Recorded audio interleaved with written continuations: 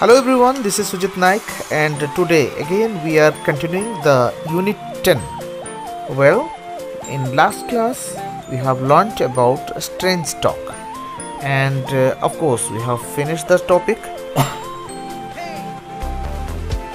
And today we are going to learn about you can see over here this is the grasshopper and the ant. Eh, in this story the main characters are the ant and the grasshopper right well he didn't like to work वो काम करना पसंद नहीं करता था all day long he sang songs and played in the warm sunshine वो दिन भर गाता था गाना गाता था और वो क्या करता था? वो गर्म सनसाइन यानी कि सूर्य किरण के नीचे धूप में वो गाना गाता था और डांस भी हो सकता है करता था, ठीक है?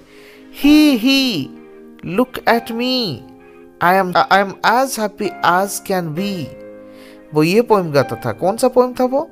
He he look at me I am as happy as can be Okay, this is the poem always.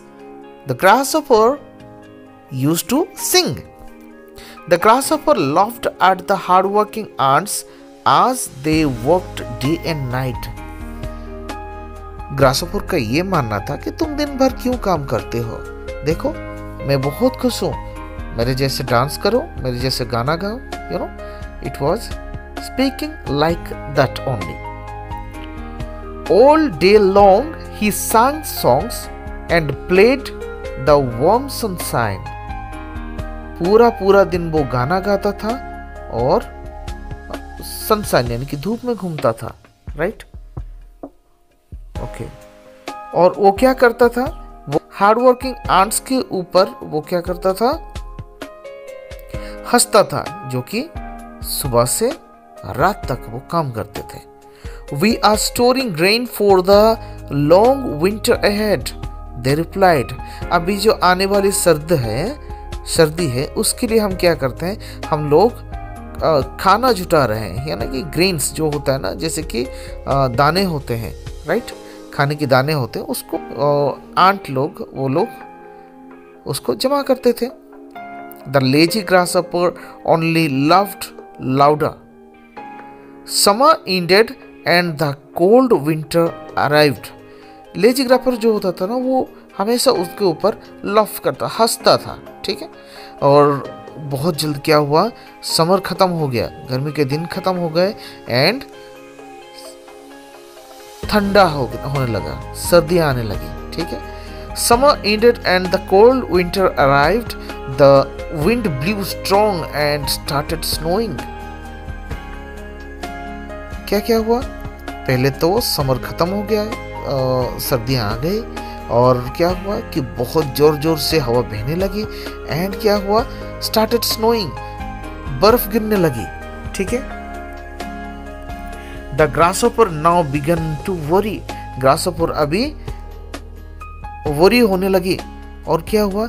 There is no food to eat no grass no flowers no leaves जो जो ग्रासोफर खाता था वो हर चीज़ क्या हुआ ख़त्म होने लगी जो अवेलेबल था the things were available now finished you know there is no food to eat like no grass, no flowers, no leaves.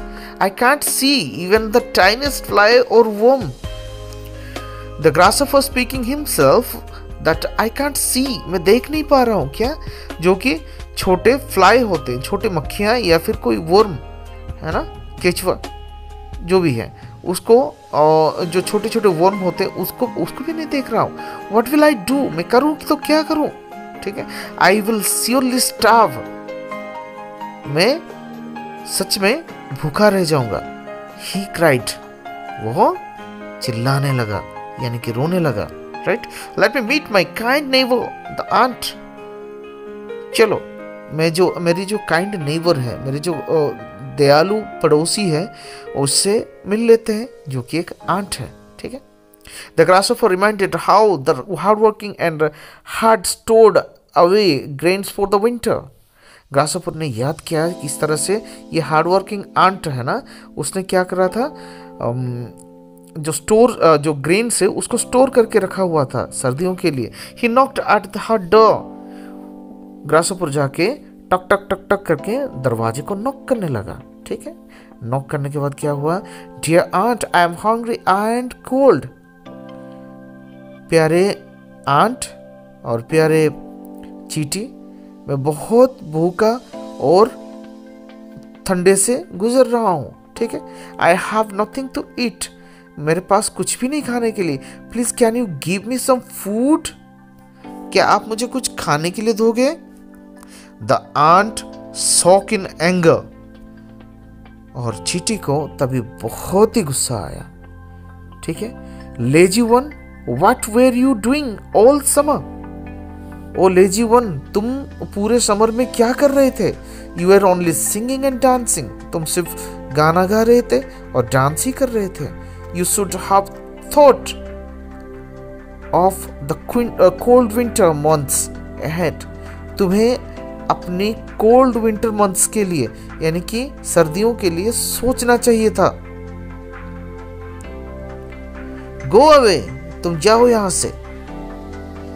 C her door सट वो मुँह पे उसके दरवाजे को बंद कर दिया।